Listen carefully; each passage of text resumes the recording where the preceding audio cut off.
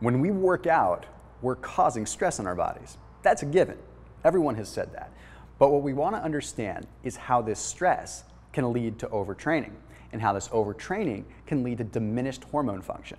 And we know how important hormones are. Okay, things like testosterone obviously play a critical factor in how much body fat we accumulate, how much body fat we burn, and overall how much muscle we build. So now there are some direct links with overtraining and testosterone decline.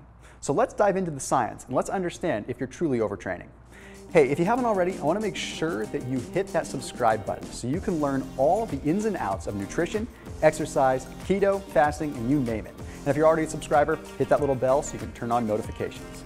All right, so first off, we have to understand what the symptoms of overtraining are. And the problem is they're a little bit vague because they hit everyone a little bit different. But in general, we're talking serious, serious fatigue. Then we're also talking sleeplessness. When you're overtraining, you are in a situation where your catecholamines, like your adrenaline your other fight or flight hormones, are skyrocketing, meaning you don't sleep very well. But you're also going to find yourself in a situation where you're getting sick a lot. Okay, you're not able to recover. And also, when you don't recover, you have declines in performance. So if you're feeling like you're at a plateau, there's a very good chance you're overtraining. Well, let me rephrase that. No matter who you are, there's a good chance you're overtraining because it doesn't take much. But the big factor here is testosterone. Okay, what kind of effect does truly overtraining and does stress have on testosterone production in not only men but women too? Of course, it's going to have a bigger impact on men because we're driven a little bit more by testosterone, but it still applies to both genders. Now, when we look at the science, it's easy to think that it could be the cytokine hypothesis. Now, the cytokine hypothesis shows that whenever you train hard, or whenever you work out, or whenever you work out for a long period of time without adequate rest or recovery, you end up in a situation where you have vast amounts of interleukins that enter the body or are produced. So we're talking interleukin 1, interleukin 3, 5, 6, 10, 15, all these interleukins which trigger specific inflammatory responses within the body. We have to remember with training, we want inflammation. Inflammation is what heals us and recovers us. But if it happens too much, it takes energy away from the rest of the body. So the cytokine hypothesis says that testosterone is going to decrease simply because our body is focused on healing specific things. And when you're under stress, it makes no sense for your body to focus energy on testosterone production for procreation. It just doesn't make sense. Why on earth would your body try to encourage you to produce more children when you're in a time of stress? But we also have to wonder which came first, the chicken or the egg. Is testosterone decreasing because we're overtraining? Or are we getting fatigued and stressed out and we're triggering ourselves to work out a little bit different and have different stress levels, and that's causing testosterone to decrease. So, what really came first? Did we already have the decrease in testosterone or whatever?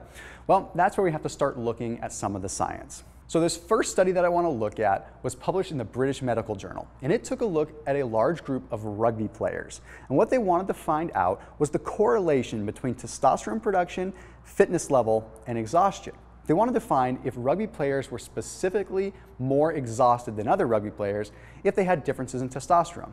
So what they did is they factored in how their testosterone levels correlated specifically with their tiredness.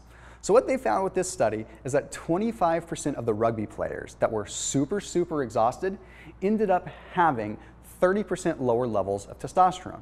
But again, it brings us back to which came first, the chicken or the egg. Are they tired because they had low testosterone, or do they have low testosterone because they're not really active the way that they should be? It's kind of tough. And the problem is that study is pretty subjective because we're not really looking at the facts. We're looking at tiredness.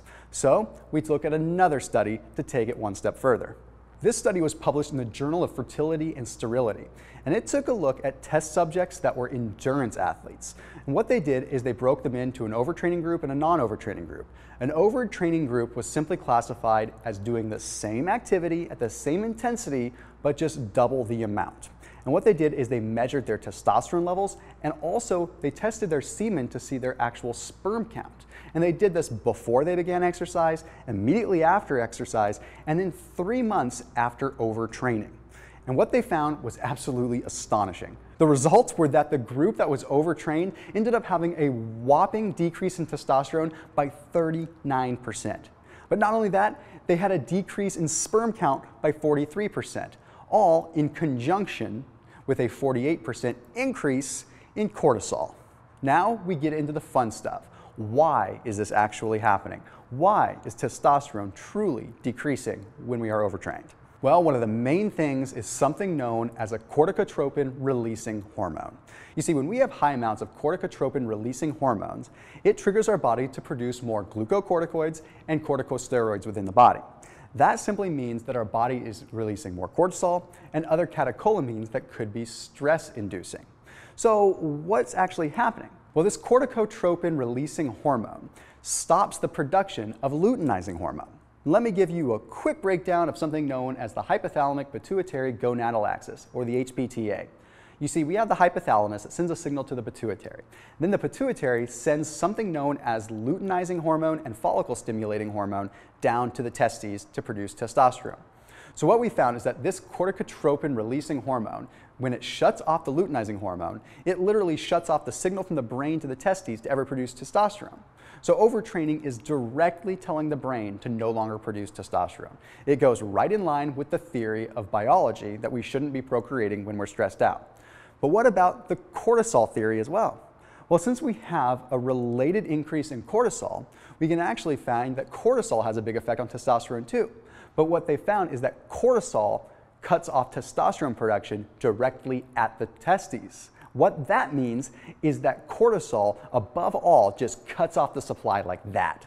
It just says, wait a minute, kill it.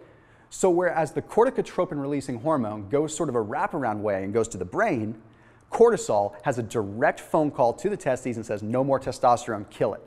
So that is really interesting. But when we couple the two together, when we look at the hypothalamic pituitary gonadal axis and we connect the corticotropin cutting off the luteinizing hormone and the cortisol cutting off the testicular production, we have a double whammy of testosterone killing going on right there.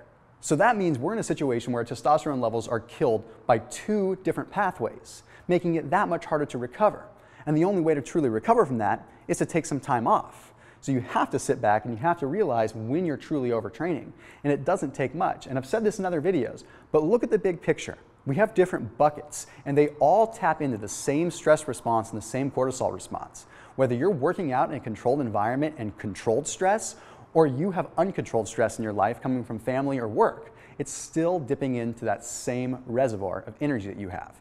So you have to look at your life in a balance. Stop living your life in a box. Stop thinking that if you miss the gym because you're super stressed out, that you're a terrible person, and factor in overtraining and the cytokine hypothesis, and of course, the corticotropin hypothesis and the cortisol hypothesis. It's all relative. But of course, what trumps all is a good diet.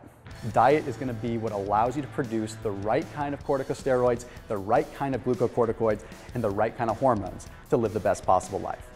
Now, if you want more videos on overtraining, I'm happy to dive into the science. But as I say in a lot of videos, we're just now scratching the surface. There's a lot to be learned and a lot of research to be done. So I'll see you in the next video.